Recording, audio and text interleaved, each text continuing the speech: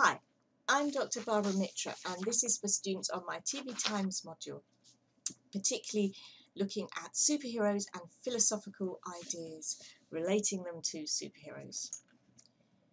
So, just to say that a hero embodies a noble quality, maybe sometimes called an illustrious warrior, whereas a superhero might have extraordinary qualities, maybe being an extraordinary powerful person with weaknesses and strength, but they have a noble character.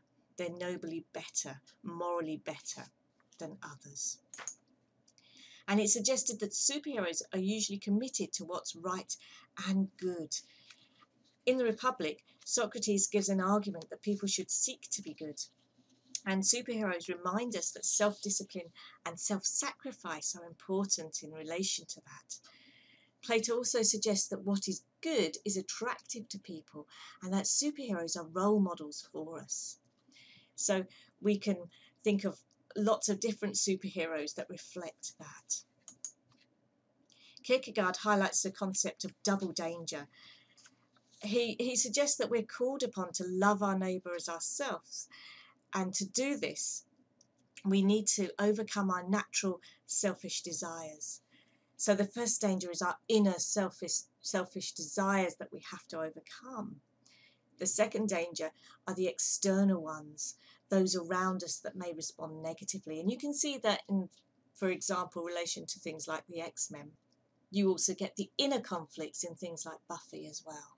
And in fact, most superheroes will have both a combination of internal and external conflicts. Utilitarianism is the idea of the greatest overall good for the most number of people.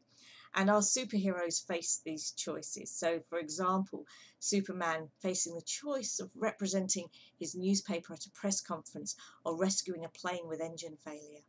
So, they have a duty to remain a superhero. But sometimes these become difficult to decide. So, in The Devil's Advocate, the Joker finds himself on death row he's innocent of that particular crime. So utilitarianism might still condemn the Joker to death, but Batman knows it would be unjust to let him die. So various dilemmas that they face in relation to philosophical concepts. And then we have Plato's cave, where it suggested that people live their entire lives in a dark cave and that's their entire reality, all they know leaving the cave, they discover there's much more to reality. And um, Plato's philosophers recognize a higher dimension to reality. But so do our superheroes. So Buffy or Q in Star Trek, the Doctor in Doctor Who, for example, are aware of higher and lower dimensions of existence.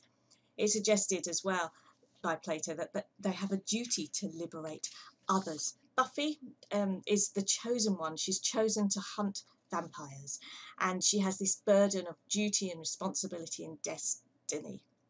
Kant suggests that we have a duty to do what our duty requires. It's essential in relation to morality. So the moral person does what they have to do because they do what duty requires of them. And our superheroes often do this as well, choosing duty over other things, over selfish desires. And that's all I'm going to say. Here are some references. Um, if you're at the University of Worcester, some of these books are ebooks available online. And I hope you enjoyed this. Thank you for listening.